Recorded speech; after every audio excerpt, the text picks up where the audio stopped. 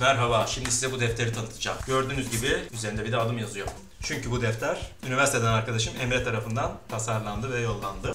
Şimdi bu defter şık ve sağlam bir defter. Sağlam derken bayağı zorluyor. Yaprakları da her şeyini. Birinci sınıf ciltlemesi var üzerinde.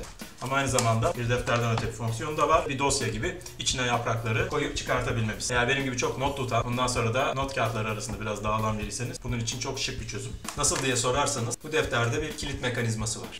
Çektiğiniz zaman açıldı çıktı.